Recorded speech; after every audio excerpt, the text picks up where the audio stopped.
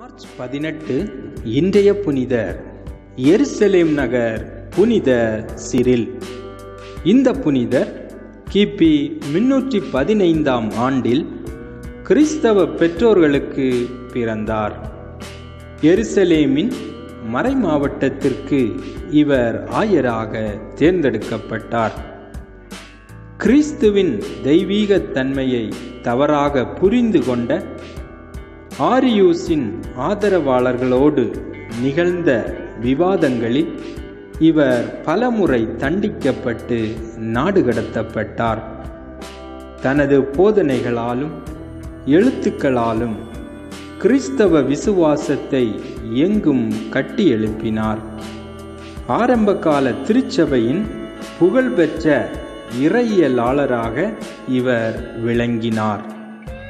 கிபி ஆயிரத்தி எண்ணூற்றி எண்பத்தி மூன்றாம் ஆண்டு திருத்தந்தை பதிமூன்றாம் லியோ அவர்களால் திருச்சபையின் மறைவல்லுனர் என பிரகடனம் செய்யப்பட்டார்.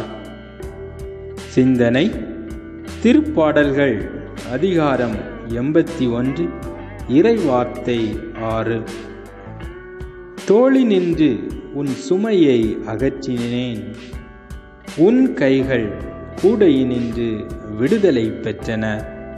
ஜெபம் எம் தந்தையாம் ஆண்டவராகிய கடவுளை புனித சிறில் உம் அருளால் உம் திருச்சபையை திருமுழுக்கும் மற்றும் நற்கருணை என்னும் மறைபொருளின் ஆழமான புரிதலுக்கு எங்களை வழிநடத்தினார்.